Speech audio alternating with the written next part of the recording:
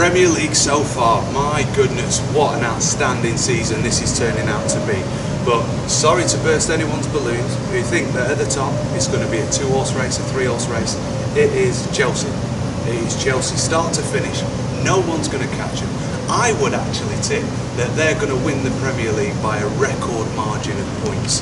That's what I said before it started, and that's what I think today. I can't see that changing. But for the European places, that is going to be interesting. My goodness, what if you're Tottenham and you spend 100 odd million, you've got a whole plethora of players, and they don't fit into any kind of formation? They're the guys who are going to miss out on Europe, not even Europa League in my opinion. And it is, it's the surprise package that Southampton that's probably going to knock them down. Man United will be top four. I said it before the season started. I maintain it now.